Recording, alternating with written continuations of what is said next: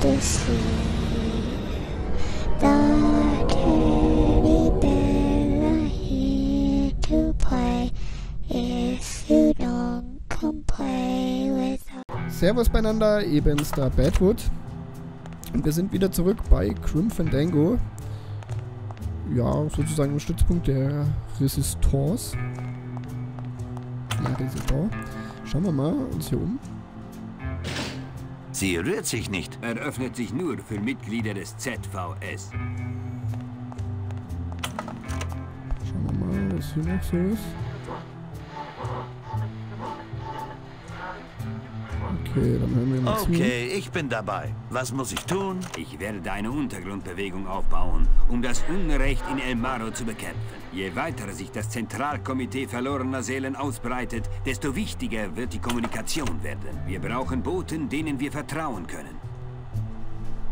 Da ist mir wohl etwas entgangen. Hast du dich noch nie gefragt, warum nicht einmal deine besten Kunden für die Arrangements in Frage kommen, die sie verdient hätten? Doch, besonders bei meiner letzten Kundin, Metsche. Nun, sie kamen alle in Frage, Manuel. Sie ganz besonders. Aber irgendwie stiehlt ihnen irgendjemand mit Zugang zu den Akten ihre rechtmäßige Belohnung. Ihre Zukunft im Jenseits. Ihre Tickets für Nummer 9. Precisamente, amigo. Und was passiert dann mit den Tickets? Ein Fahrschein für die Nummer 9 ist wie pures Gold, Manuel.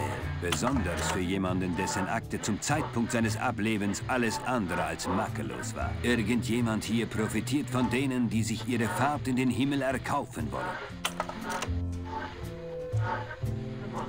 Aber Geld hat hier keine Bedeutung mehr. Wir wollen doch alle nur raus. Du willst raus, Manuel, und ich werde es eines Tages auch wollen. Aber diese Welt ist alles, was manche noch bleibt. Also suchen sie hier in der achten Unterwelt Glück und Erfüllung. Und dafür braucht man selbst hier Geld.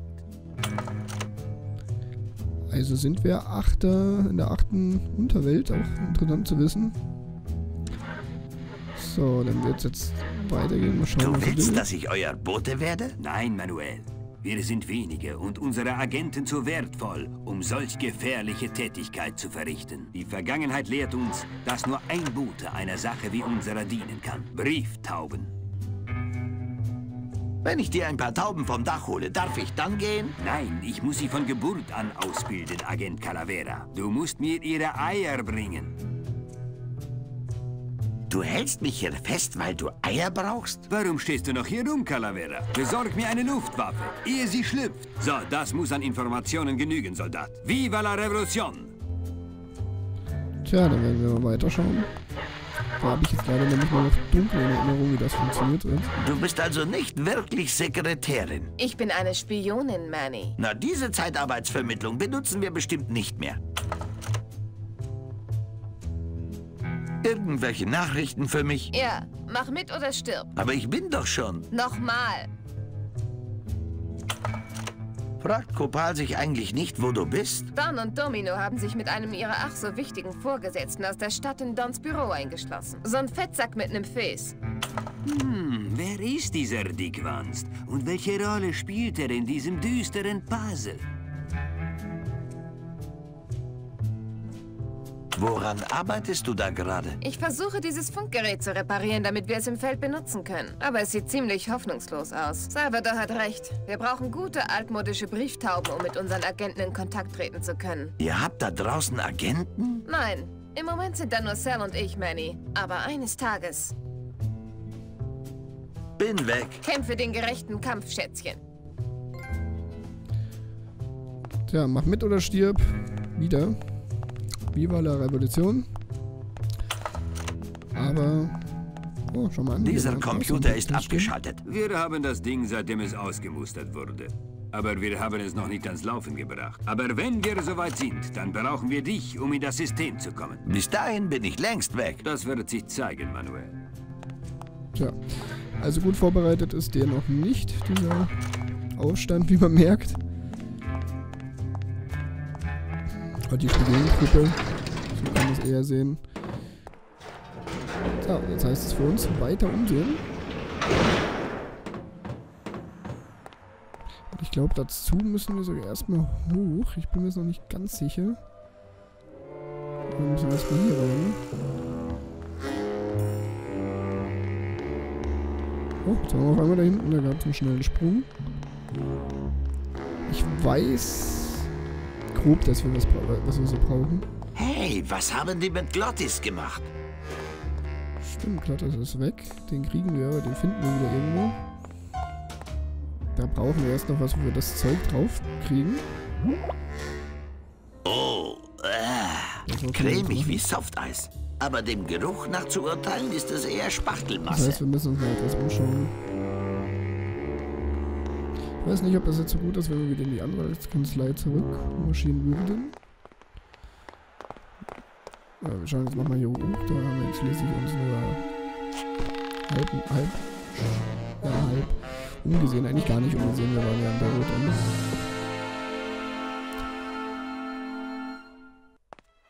So, ich weiß, dass man dann auch irgendwie da rüberkommt. Hier sehen wir jetzt das komplette Büro zu. Hm, Domis Und jetzt schauen wir mal. Da kommen wir aber rein.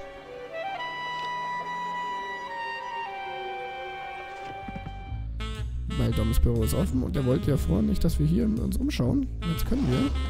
Was zum... Sieht wie ein leuchtendes Korallenstück aus. Das Ding, das brauchen wir. Das ist schon mal sehr wichtig. Was haben wir noch? Dann nichts mehr. Das ging ja schnell. Also es geht hier nur diese eine Schublade. Dann können wir die wieder zumachen. Ich dachte, wir finden hier noch was Interessanteres. Sie können wir nichts machen. Der ist mit dem Passwort geschützt. Der wir können hier ein bisschen boxen. Mal schauen, wie stark Mini ist. Naja. Mini ist nicht so stark, aber wenn man boxt, sehe ich gerade, passiert noch was anderes.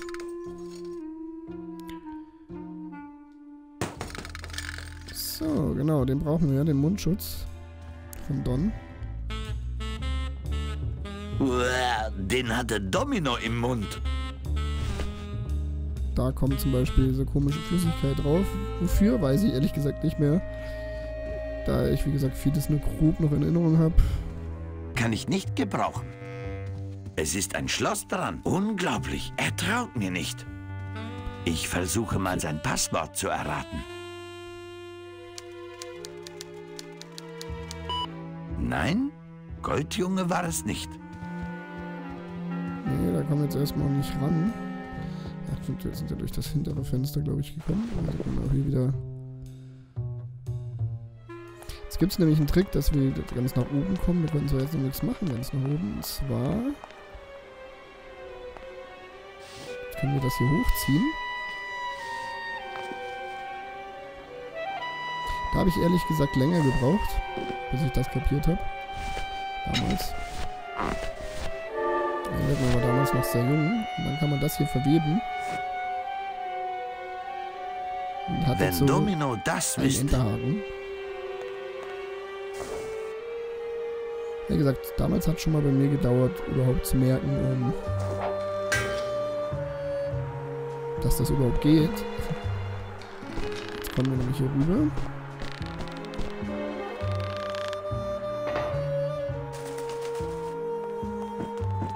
Vor allem noch gehen die jetzt, die sind jetzt noch leicht, muss man sagen. Die werden erst richtig kompliziert. Und hier gab es nämlich einen Trick. Da oben haben wir nämlich das Nest.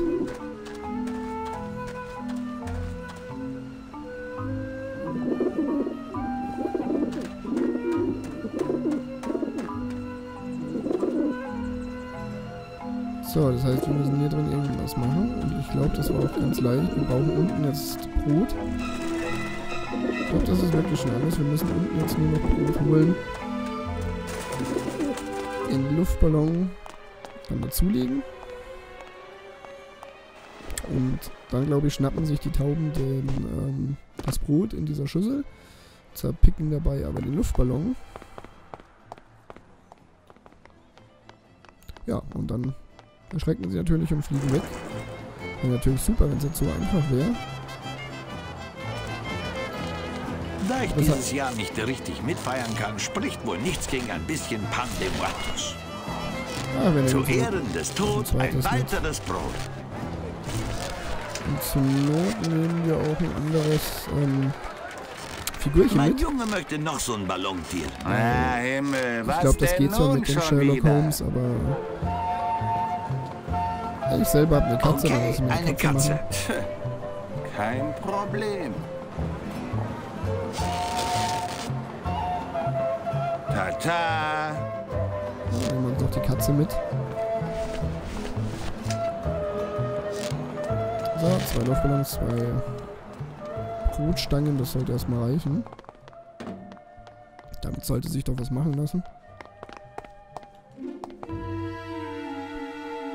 Also wieder nach oben geklettert.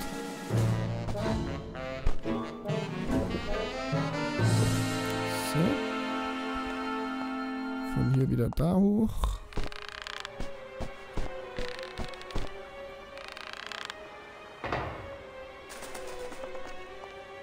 Dass eigentlich Monkey Island so spät als erst mit dem vierten Teil eigentlich mit ähm, war, wundert mich, weil ja damals schon, klar, wir haben jetzt eine andere Steuerung wie die von damals. Damals war es halt einfach so, wenn der Charakter nach vorne geht, geht er nach vorne. Also sprich, man musste immer in die Richtung drücken, wenn der Charakter läuft. Sonst ging das nicht. Das ist jetzt schon ein bisschen anders. So. Jetzt nehmen wir erstmal den Sherlock Holmes, legen den da hin. Vielleicht erschreckt sie das hier. Vielleicht. Bisschen Brotkrümel. Jetzt schauen wir mal, ob das funktioniert. Wie wir es uns vorstellen.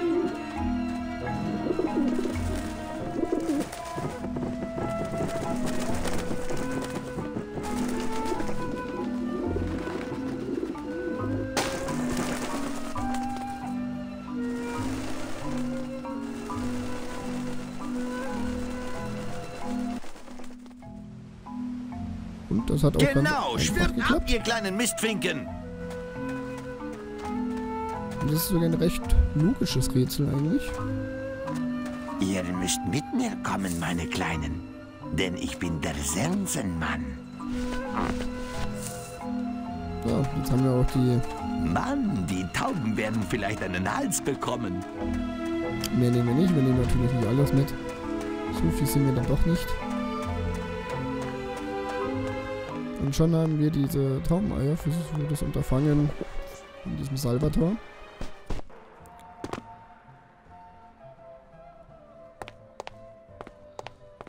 Aber wie es so schön ist, das ist natürlich nicht das Einzige, was Isa haben möchte. Und schon wieder war der der, aber ich glaube, dieses, das gab es im Originalspiel auch, diesen Glitch, dass er auf vorne stand. So, und dann, weil ich weiß, dass wir das noch brauchen. Ich weiß zwar nicht mehr für was, aber wir können es ja schon herrichten. Die Flüssigkeit mit der, dem Mundschutz. Füllodent. Gut für die Zähne, prima für Prothesen. Ich glaube, wir müssen uns sogar daraus eine Prothese bauen. Ich weiß allerdings jetzt nicht, ob die für uns selber oder für jemand anderen. Deswegen warte ich jetzt erstmal ab, bevor wir selber drauf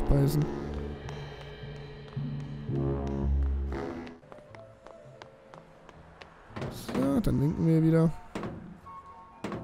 Agent Calavera und zwei Gäste. Ja, und dürfen wieder runter. Er wird uns jetzt schon sagen, was als nächstes kommt. Ob wir irgendwas tun müssen oder nicht. So.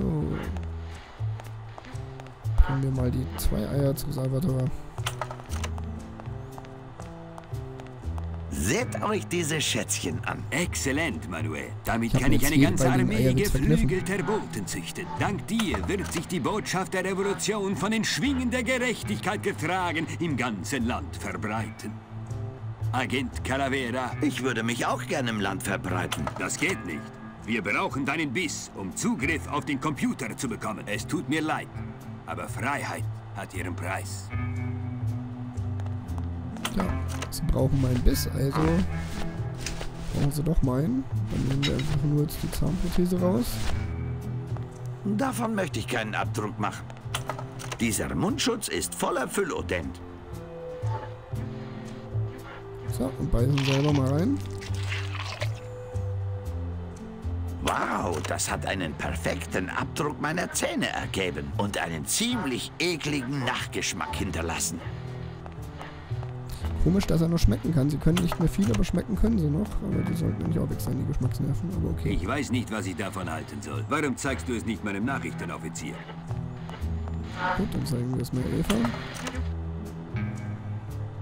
Manny, das ist ja ein perfekter Abdruck deiner Zähne. Mit dieser Form können wir ein falsches Gebiss gießen, das uns Zugang zum Computer verschafft. Gute Arbeit, Soldat. Du bist ein Freund der Revolution, Agent Calavera. Und jetzt werde ich dir helfen. Du die verlorene Seele finden willst, mein Freund, musst du nach Rubacava. Woher weißt du, wo sie ist? Ich weiß es nicht, aber jeder, der in die neunte untere Welt will, muss vorher das Meer der Tränen überqueren. Und dazu muss er sich in Rubacava eine Schiffspassage besorgen. Wenn du vor ihr rankommst, wirst du sie bestimmt finden, auch wenn es etwas dauert. Ich warte, solange ich muss. Manuel, bist du verliebt? Liebe? Liebe ist für die Lebenden, Cell. Ich will sie nur aus einem Grund. Sie ist meine Fahrtkarte in die Ewigkeit.